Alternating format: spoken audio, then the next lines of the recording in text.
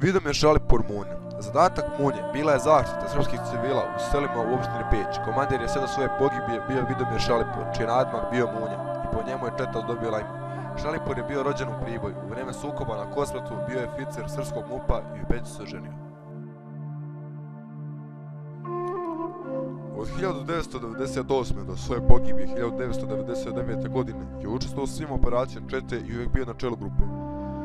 Bio je ranjen kod visokih dječana u rajonu Drenovca i Crnog brega, iako je ranjen, nastavio da se bori. Vidomir Šalipur Munja je bio strah i trepe za šiptare. Šiptari su za njegovu glavu raspisali 500.000 nemačkih maraka.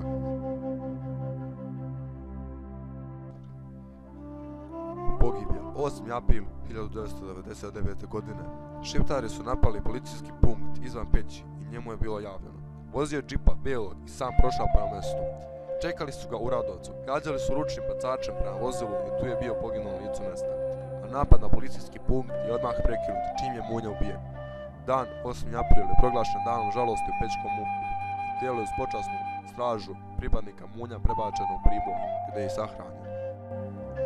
Poginuo je u 29. godini života i za sebe je ostavivši suprugu i dvojicu sinova od kojih mlađi nikad nije upoznao.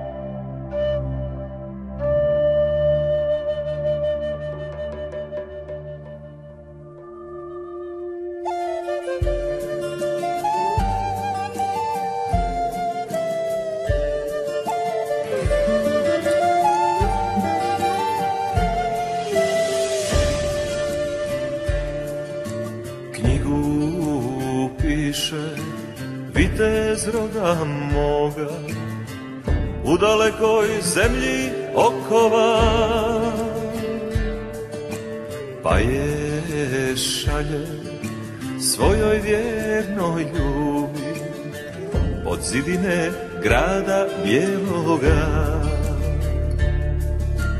Ej ljube moja moga oka bilo Idu dani, ode godina.